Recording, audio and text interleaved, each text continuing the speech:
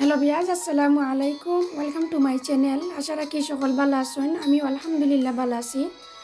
আমার ফ্যামিলিও ভালো। আজকে একটা কুকিং ভিডিও লিয়ে আইলাম। আশা রাখি আপনারা ভালো পাইবা। যদি ভালো লাগে না, দেখতে থাকবা। দেখতে দেখতে হয়তো ভালো লাগতে পারে। তো বিয়াজ আজ একটা মর্নিংর ভিডিও একটা আমি ব্রেকফাস্ট রেডি করলাম।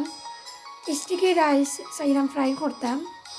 তো স্টিকি রাইস ফ্রাই করার লাগি আমি ফার্স্টে একটা পানোর মাঝে পরিমাণ মতো অয়েল দিছি। সাথে কিছু ঘি অ্যাড করছি।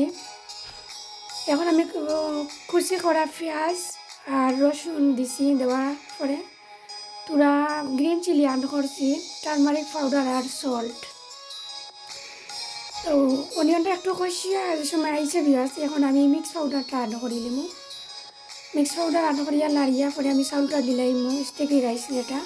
আর এই রাইসটা আমি ওয়ান আওয়ার এগো ভিজাইয়া রাখি দিছিলাম, এখন বালা করি ওয়াশ করিয়া পানি তনে তুলি লিছি চাউল তনে এখন আমি দিলাইমু দেওয়ার পরে লাড়িয়া ফাইভ মিনিট লাগি ঘুরিয়া রাখি দেবো শেষে আমি তোরা হট ওয়াটার অ্যাড করব চাউলটা ফুটার লাগে।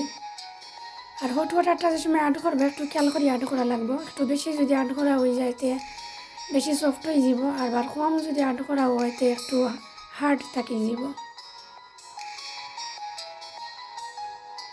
আর একটু চুলার আগুনটা একবারে কমাইয়া দিম একবারে লো আছে ফুটিয়ে আইব